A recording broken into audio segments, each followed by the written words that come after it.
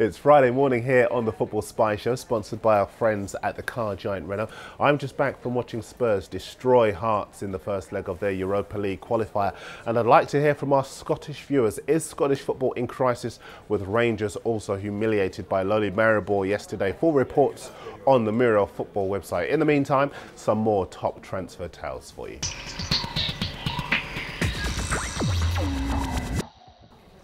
And for so long, Arsenal have been in the driving seat for the Valencia winger Juan Mata. But from the clouds over the last two days, while I've been in Scotland, Chelsea have appeared and the Daily Mail say that they are ready to make a £29 million bid for the player. The Telegraph say it's closer to £27 million.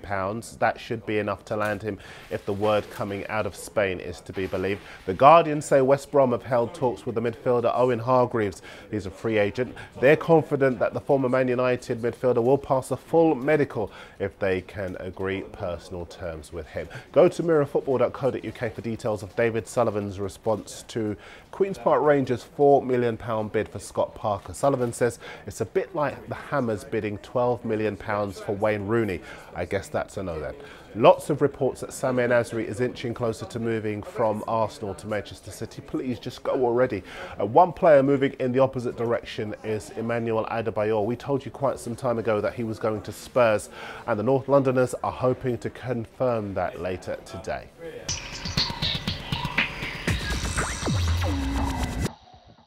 Time for your section of the show, and I said on Wednesday that uh, Liverpool were interested in the Celtic uh, winger Paddy McCourt, who scored the other day for Scotland.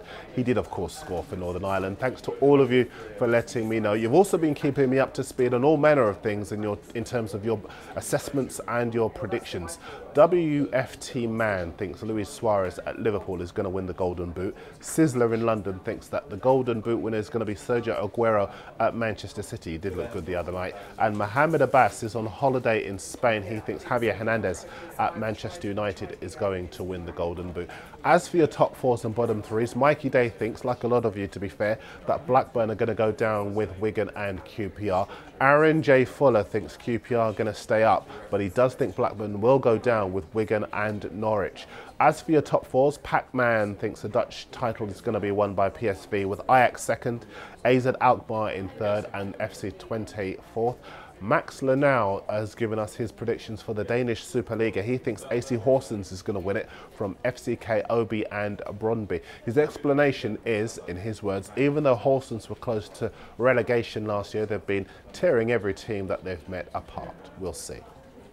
One more top four for you. Mr. Silver thinks Manchester United are going to beat City to the English Premier League title. He's got Chelsea in third and uh, Liverpool fourth. No Spurs and no Arsenal in there. I think Spurs might well be in with a shout for the top four.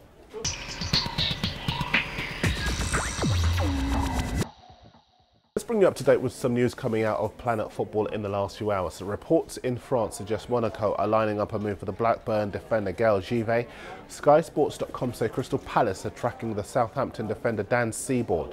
The new Liverpool defender Jose Enrique believes more players could follow him out of the exit door at Newcastle and he's revealed his concerns over the St James's Park club. I've been speaking to West Ham over the last couple of days and I can tell you that they're watching developments with the Newcastle midfielder Joey Barton. He could be playing alongside Kevin Nolan again at Upton Park.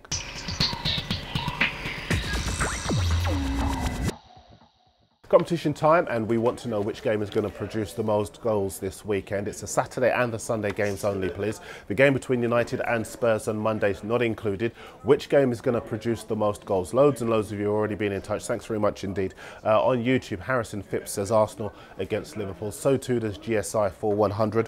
The LFC fan says Swansea against Wigan. Carl Peters is in South Africa. He thinks it's going to be Chelsea v West Brom. Kyle also thinks that Emmanuel Adebayor will win the Golden Boot if he signs for Spurs this weekend. Sushanta Parajuli is in Saskatchewan and she says uh, Bolton versus Manchester City. PAL86 LFC says Everton QPR. James Crino says uh, Chelsea versus West Brom. He's in Sydney, Australia. Bilal is from right here in England. He says Aston Villa against Blackburn. And Darius is in Lithuania and he says Sunderland against Newcastle. Good mixture there. Keep your entries coming in, especially on Twitter. Our address there is at Football by. Dan's waiting to talk to you there. The competition closes at midday tomorrow London time. We won't take any more entries after that and we'll announce a winner on Monday.